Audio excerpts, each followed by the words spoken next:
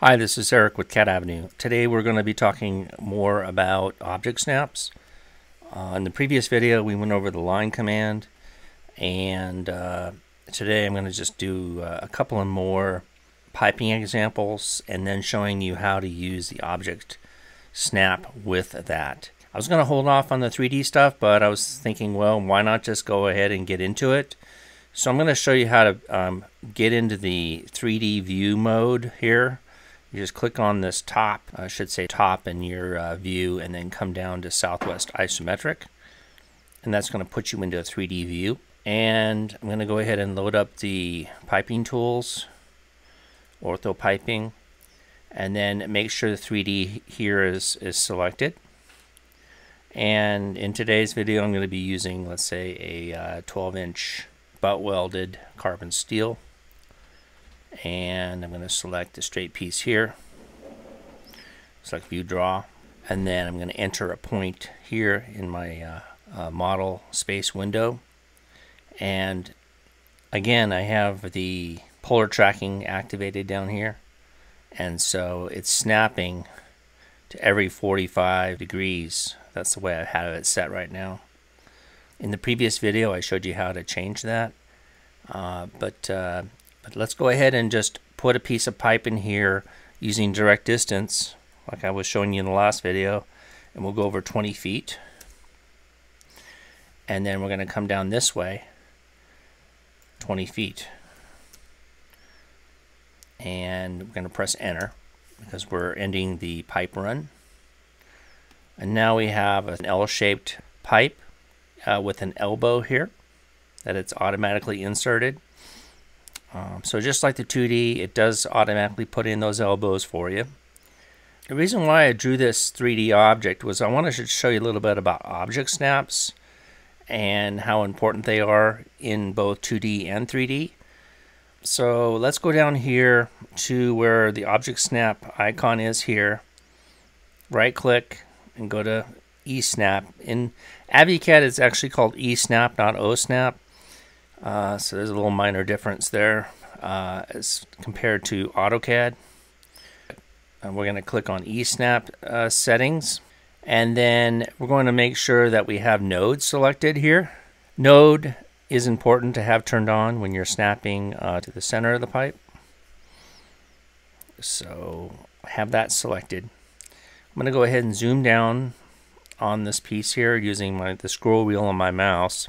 I'm going to snap to the node. So I'm going to come up here and I'm going to select the elbow, view draw. I'm going to pick the elbow from this point here because these X marks are actually clickable. I want to insert it from the center of the uh, this elbow.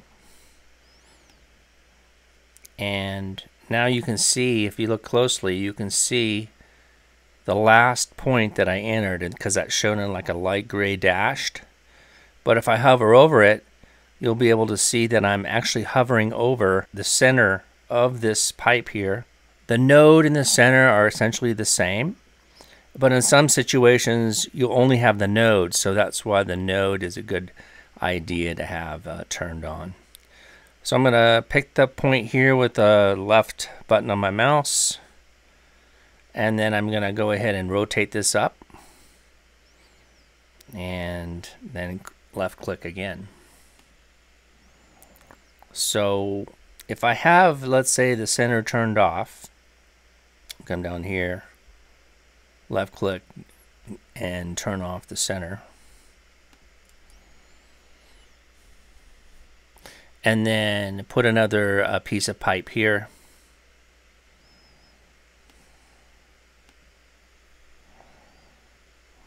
You can see the last point there until I actually zoomed out of it. And now I'm actually, see how it's highlighted the node? It's actually found that node there. So I can continue upwards. If we're going upwards in a straight Z direction, in other words, we're looking down here at this UCS indicator and we're seeing the Z going this direction. This would mean that the ortho needs to be turned on. And the reason why that is, is because if the ortho isn't turned on, sometimes you're going to get a skewed piece of pipe, even though it may look like the pipe is basically going straight up.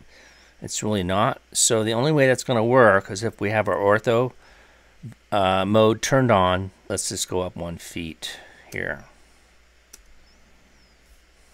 Down here you have your UCS indicator and you can see the Z is pointing straight up um, and the X is pointing this way and the Y is pointing this way. Well, this is the world coordinate system.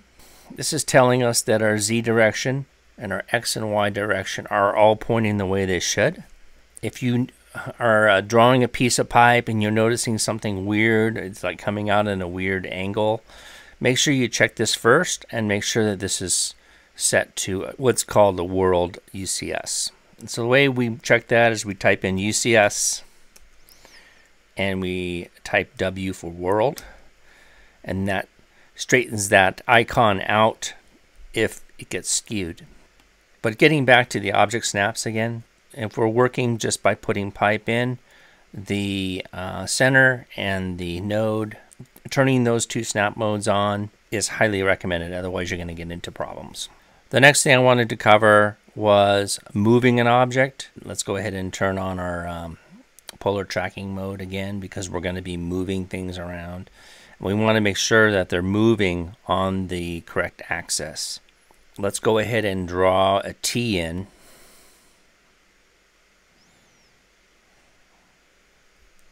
pick this one here. New draw. I'm going to pick it from this point here. And I'm just going to put a point out here in space. I'm going to show you how I move this T. I'll pick the upstream direction, which would be this one. And then I rotate it as needed here. Okay. So now we got the T in there, but the T, of course, is not in the right location. So what I'm going to do is I'm going to show you how to move this from here to here. So you pick it, and if you see the little nodes down there, the little uh, blue nodes, that's basically telling you that you can snap to that node, like I'm doing here, just hovering over it, and because I have my center snap turned on, it, it automatically uh, snaps to that area. So we left click and then we can bring this down to the center here. You see how I'm highlighting over the center of this piece of pipe here? And we just click again. And that was actually the node down there. But uh, so I just wanted to show you that because um, that's kind of a common thing you're going to have to learn is how to move these fittings around in case they get misinputted you're always going to need to know how to move things around. One last thing I wanted to show you was by picking the part and then snapping to this and then pressing the spacebar as long as you've got the node highlighted you automatically get that move command just by pressing the spacebar. If we cycle through the next command, that's a rotate command which is rotating this around here. Again, we're using the, um, the polar snap as we established earlier. So we can rotate it. If we pick it again from here and we press the space bar, we can scale it. So here we could make that bigger. If we press the space bar again, we're now we're into mirror mode. You can see it mirroring around and then a stretch mode. But the stretch mode and the move are the same in this uh, situation because we're dealing with a block, and blocks cannot be stretched unless they are exploded. Anyways, uh, so I wanted to show you that spacebar command because that works well in 2D as well as 3D. Why don't we go ahead and just go into 2D real quick, erase these. Again, I'm picking up from lower right to upper left, and that picks everything in the crossing. And then I'm typing E for erase. So let's go back into a different view, which is the top view. Watch what happened to the cursor there. Now we've lost the Z because we're no longer in uh, 3D space. Go ahead and erase this up here as well. So let me give you some examples in 2D um, why you would need Object Snap. So in 2D we have the line command which I showed you. If we go up um, 30 feet and we come over 20 feet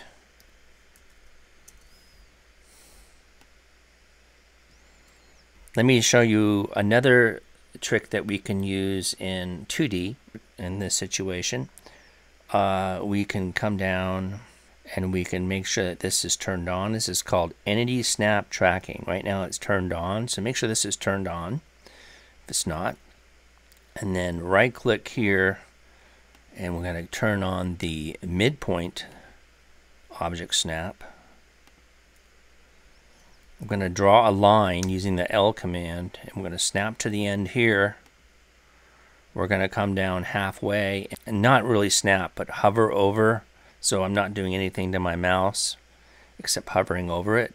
And now that I've, I'm highlighted over that, if I just hold it there just for a couple seconds, you can see like a little um, square there. And then as I bring this back, I'm not doing any drawing at all, where I'm just hovering uh, you can see that it has drawn a temporary construction line uh, where the midpoint of that other line is and then projected that green dashed line out. So I know if I left click at this point, I'm going to have a line that's exactly halfway down this line.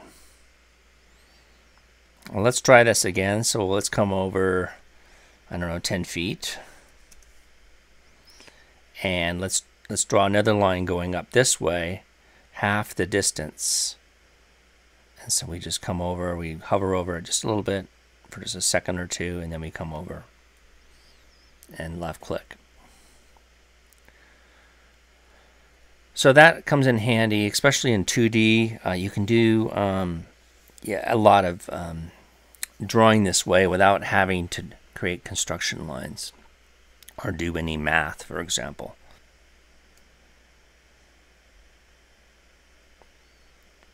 Just turn off all the snaps here, just for this example. So right now, if I hover over anything, like the line command, it's not going to want to snap to anything, endpoints or anything.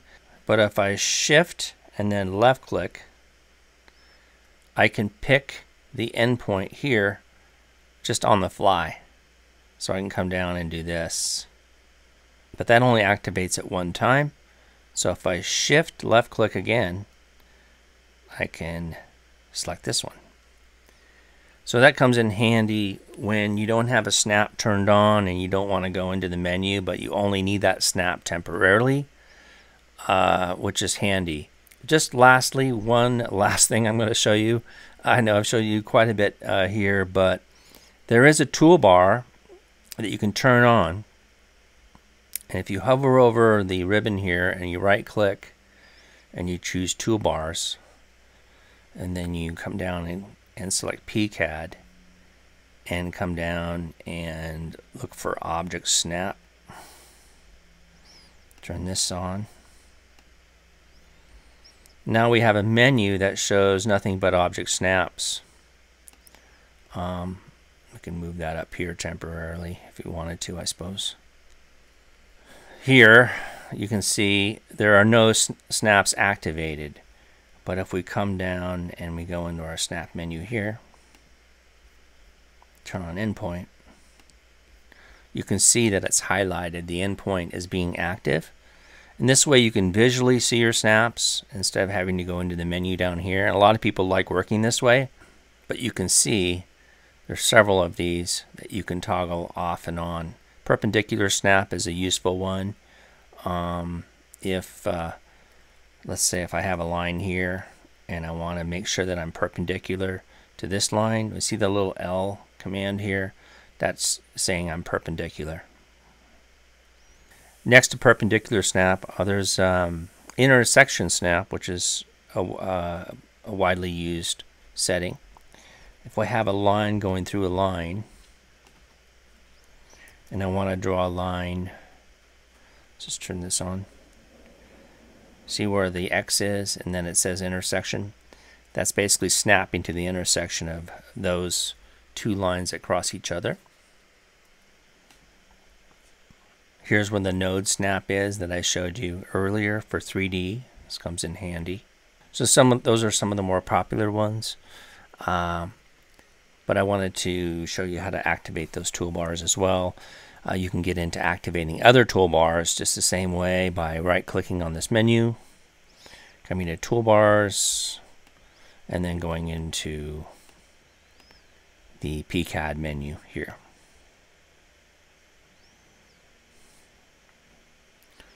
So hopefully this has been helpful and feel free to reach out and call me at 888 271 7121. Thanks and have a great day.